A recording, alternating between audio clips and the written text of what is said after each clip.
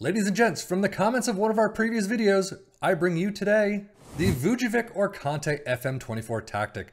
Now, Vujevic was a tactic maker that has been all over the place. We've seen a lot of him in FM23, uh, and I've been reading a lot of fantastic things about the Conte tactic for FM24. So we're going to take a look. And again, this was from a comment of a previous video. So definitely, if you have one that you want us to check out, leave us the name, hopefully where we can find it, and we'll get to it as soon as we can. But but I am looking forward to this one. I can't wait to see how it does. But we're going to switch things up right now, and we are actually going to go take a look at the league table first. We are using Liverpool and Aston Villa in the Premier League and Ipswich Town in the Championship just so we can see both the Premier League levels and the Championship level, how these tactics work. Right now, Liverpool, though. First place doing really well on the table. Aston Villa in fifth, doing pretty well themselves. I guess in real life, they're doing fairly well as it is, but in FM, they're predicted to be around 10th. So fifth place in the table is fantastic. Liverpool, though, 29, 6, and 3 with 104 goals, tops of the league in goals for, 93 points, a fantastic tally for them. Aston Villa, fifth place, 22, 6, and 10, 83 goals for, 72 points. Really well done so far. Liverpool's schedule, unfortunately, out immediately in the EFL Cup third round against Leeds, who usually butts up against Ipswich Town's head. So we'll see what happens there. But uh, in the FA Cup, we get to the final. Again, Leeds. What is going on with Leeds this time around? But you beat Ipswich Town, you beat Leeds in the final, you get the trophy. That's number two. Unfortunately, trophy number three is not there. Ajax beats them out in the quarterfinals of the Europa League, one to two away from home, and one all a draw at home. Unfortunately, not good enough to get through. So squad wise, you could see 30 goals from Mohamed Salah is finally doing really well this time around. 24 for Nunez, assist 15 for Trent, 14 for Mac Allister, 13 for Robbo and Tsimikas. It's good that they're kind of splitting the time. Average rating Mohamed Salah with a 7-3, 7-2-1 for Nunez. Pretty good all around. Aston Villa doing much better than Liverpool in the EFL Cup, unfortunately losing out in the quarters, nil one to Arsenal, and then out 1 all in penalties against Leeds. We see them again in the FA Cup quarters. But they do get a trophy.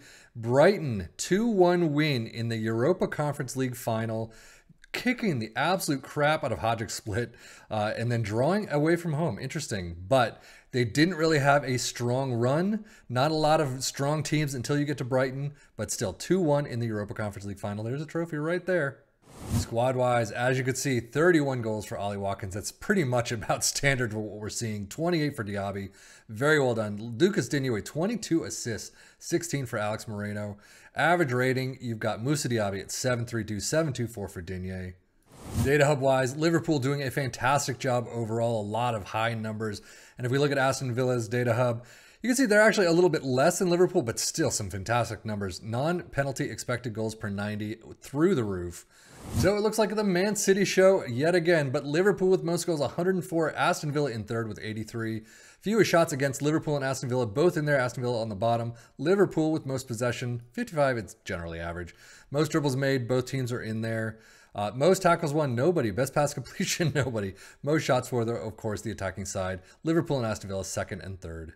Now, this is not what I would have expected from Ipswich Town. Usually they mimic Aston Villa to a degree, but Ipswich Town in eighth place in this league, 69 points, 95 goals, very close to top, but they're about, it looks like they're about fourth place or thereabouts. And about an average showing for the FA Cup and EFL Cup. We have already seen that they lost to Liverpool nil 2 in the FA Cup fourth round. EFL Cup third round against Leicester 6 to 1. Now, as we look at their squad, you can see actually Hirst with most appearances this time around. Goals 24 for Hirst, Chapel with 21. Very well done for these two. Unfortunately, not so much for the rest. 15 assists for Leif Davis, Hirst with 11. He's doing a fantastic job, yet only getting a 718 rating. 7 4 0 for Christian Walton is one appearance, of course, but 7 18 for Leif Davis, George Hirst. That one surprised me. I would have expected 24 goals, 11 assists. He's a little bit higher up, but oh well. Where can we find them in these lists? You can see most goals, fourth place, like I said, 95, and that's after the playoffs, too. Uh, they didn't make the playoffs, but the playoff stats are in these uh, team stats overviews. So they're down in fewest shots against, most possession, no. Uh, you got down in most dribbles, of course. I mean, they're they're just kind of absent overall, all the way down in most shots for. But unfortunately, on the average season for them, uh, that's kind of where they're supposed to be anyway. But we have definitely seen them higher, so I would say a little bit disappointing for them. But for the tactic itself, we're going to bring it to the end right now. Goalkeeper in defend. You got ball playing defenders all the way down that back line. Wing backs on the left and right in attack. A Regista in support in the central spot. CMs in attack on the midfield line, a deep lying forward in support, and an advanced forward up front in attack. Attacking mentality in possession, attacking with is fairly wide. Approach plays pass to space, overlap in the left and right, play out of defense. Passing directness is shorter, tempo is higher. Final third, mixed crosses and hit early crosses, run at defense.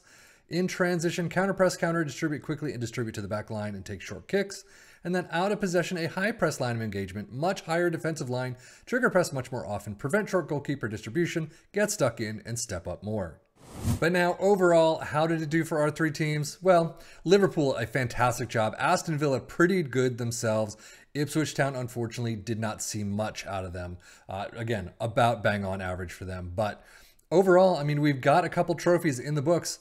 Definitely want to take a look at. And as always, I always say this this is just a flat sim. I've done absolutely nothing with these teams. My assistant coaches and managers have done all the work. If you take control, you do your own match shouts, your own training, your own tactics, your own tactical changes throughout the season and throughout each match, you could do a much better job. So Ipswich Town from ninth place could go up into the playoff promotion spots, if not better. But that is it for me, Sefian FM, saying thank you so much.